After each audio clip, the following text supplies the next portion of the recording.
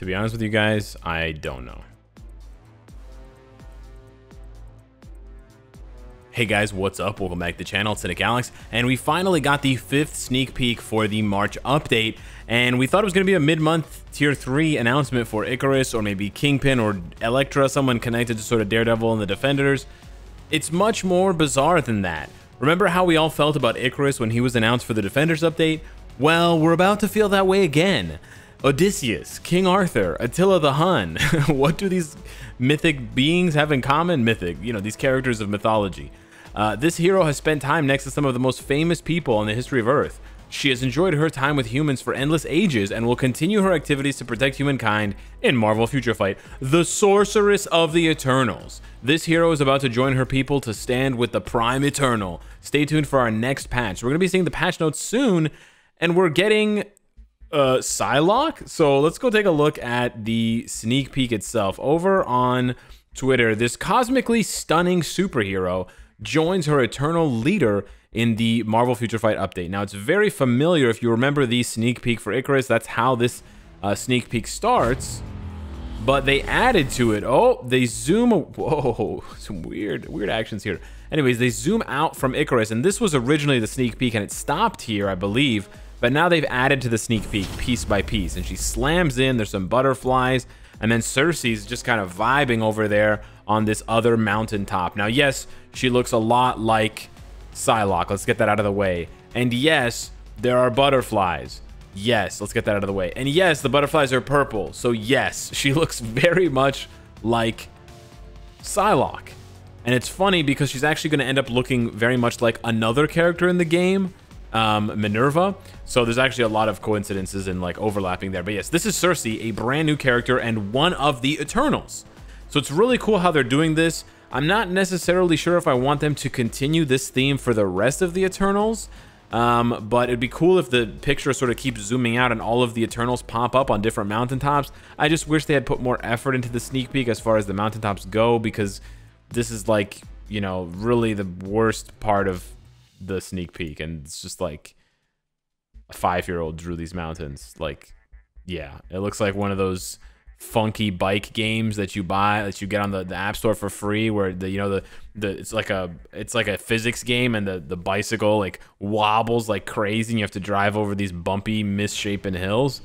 Yeah that's what these hills are giving me vibes of. So anyways we're getting Sersi as a brand new character. I have so many questions. First of all how good how strong is she going to be sure second of all is she going to be tier 3able third of all is Icarus going to be tier 3able did we just get two tier 3s are we going to have three tier threes per update? My wallet can handle that. Or, or are we going to get none? Are we going to get a new character instead of a tier three? I honestly don't know. I have all these questions and we don't have any answers until we get the patch notes. I'm recording this video at like 3 o'clock in the morning. I release this video at 9 o'clock in the morning. Maybe between now and when I go to sleep and I wake up, they release the patch notes. Who knows, man? All right, so I had actually just finished recording this video that I cut in the middle of because after I finished recording it and speculating on what Sersi could be, they dropped the patch notes. Literally, I recorded the video at 12:50 a.m. and at like 3:10 a.m., like 10 minutes after this posted, I hop on my computer while uh, Adobe Premiere Pro is processing the video and I see, "Oh, they posted the patch notes." So, I'm just going to cut all the speculation out because obviously it's pointless and let's just check out uh, what Sersi is, because Sersi has arrived as the newest member of the Eternals. After spending eons with humankind, she will now use her powers as a skilled sorceress to protect Marvel Future Fight Universe. She's actually not a sorceress. She she mo manipulates molecules and atoms, but she masks her power as magic. So yeah. Anywho, uh, so the patch is gonna happen in waves. It's a rolling patch, and uh, it's gonna be happening on the 31st. So it's going to be happening tomorrow? No, tonight. Today. Today, tonight. Wow, 9 p.m. Pacific. That means midnight Eastern time. That's late. But fingers crossed. I think the last two mid-month patches have been early. So yeah, this one hopefully will be earlier than midnight because that's really late. Anyways, Sersi, she's a blast type. So yeah, I speculated in my I heavily speculated in my video that she was going to be a Universal to replace Captain Marvel. Uh, swing and a miss. That was a huge miss there. So yeah, sure. Uh, she's available through the premium chest, the shield lab processor, and bioselector, so she is 100% free. So yeah, she's a free-to-play character. She's the very first free-to-play biometric character that we've gotten since, I believe, Scorpion back in November. So that's really cool. First brand new biometric uh, selector character. So save those Shadowland selectors. If you haven't played Shadowland up to stage 15 this week or up to stage whatever 35, uh, you can play them and get bio selectors and use them on Sersi when the when the patch lands. Just save them all in your inventory. That's pretty dope. Uh, let's check out how Sersi uh, looks. So her leadership is garbage, but that you know is pretty obvious. She she wants to use the Icarus leadership. She wants the the Prime Eternal uh, backing her up. Her uh, regular six-star passive is debuff removal for all Eternals. This is very PvP meta, but this also helps for some PvE content, uh, getting out of the tornadoes, getting out of the time freeze and world boss. It can help against uh, Mephisto and Null, getting out of their attacks, but of course, we'll talk about why that's not possible yet for the Eternals. Her tier 2 passive is just a straight 30% damage buff for the Eternals, so that's getting into kind of crazy wombo combo territory. If you put Icarus with Sersi and Colossus, Colossus obviously gives you the debuff, uh, the, the, the defense, the damage reduction. But Sersi and Icarus are combining for 90% all attack. That is mental. And they have the debuff cleanse.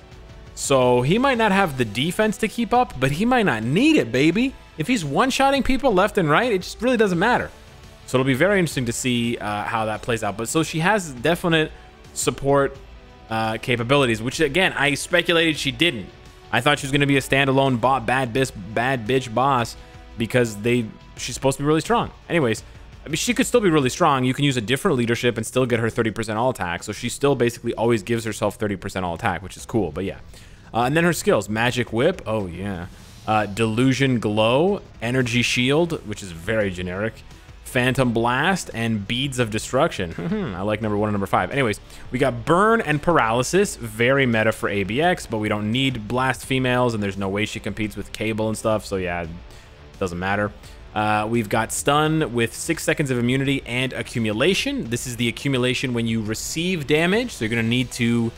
You're to need to take some damage. It's the, it's the Sharon Rogers accumulation. It's the Luke Cage warming up accumulation. It's 15% for each 1% up to a total, a maximum of 15%. So basically you get a maximum of 15 times 15, which is a 225% attack buff.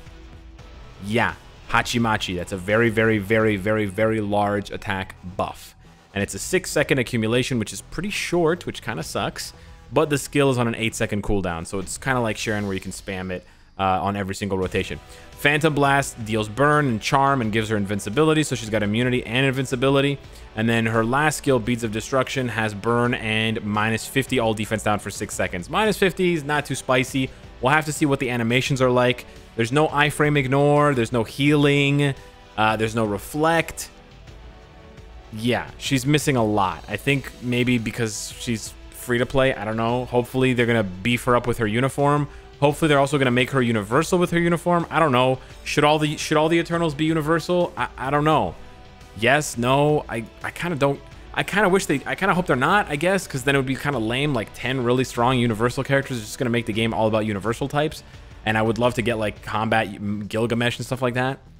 Yeah, but you guys, you guys, let me know what you feel about her uh, typing being blast and not universal. And then there's her new icon, pretty cool. I think she looks really cool. She kind of gives me like Raven vibes. She gives me goth girlfriend vibes, which is nice. I like that. We don't have one of those in Marvel Future Fight yet, uh, but we do now because Sister Grimm, eh, no, no thanks. Uh, and then surprisingly, there's no tier three.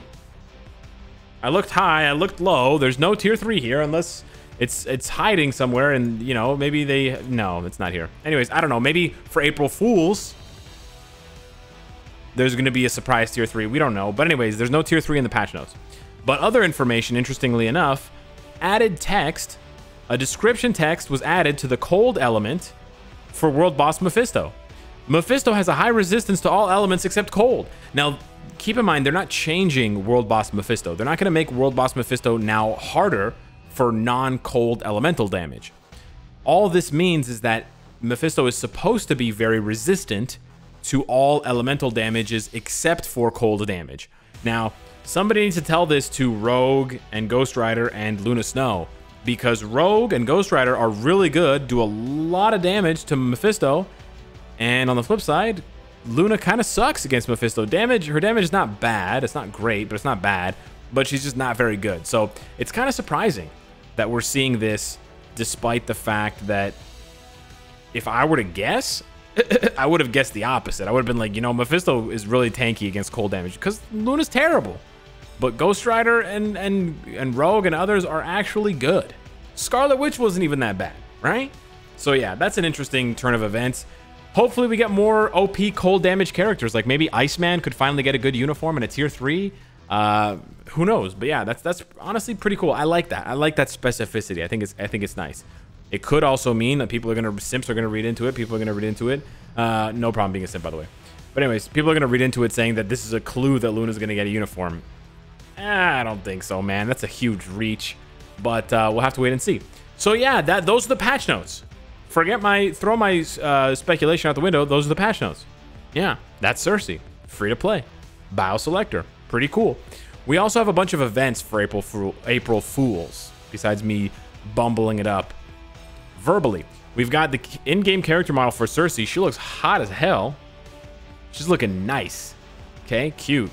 Uh, we've got an all uniform sale. So all uniforms in the game are on sale. You you guys go nuts for this. So yeah, let's let's go. All uniforms on sale. We've got a seven-day check-in event, which is pretty normal. It's what you can use those bio selectors on on um, Sersi. That's cool.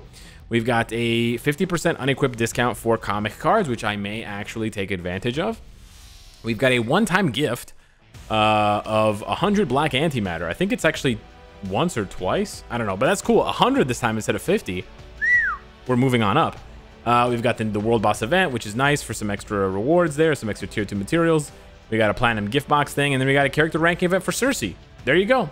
There's some other stuff that's going to be on sale, like a violet box for Sersi. So if you don't want to use your biometric selectors on her, you can, let me show you, the Violet Eternal Chest. You can you can splash some money, and you can open, you can crack open some chests. They got bios of hers. They got um, gold, excuse me, not crystals. Uh, they got black antimatter chaos nornstones, and they got mythic uru. This one's kind of yikes. This is probably the, the, the, worst chest. I like that they're experimenting, but these should be Odin's blessings, not not goofy uh, mythic uru. So yeah, I would steer clear of this chest. The the one with comic cards is way better. The one with tier three materials is way better. This is definitely the worst chest, unfortunately, for uh, Sersi.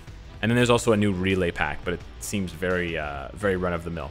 So yeah, there you go. That's the patch notes. Icarus and Sersi, friends, best friends forever.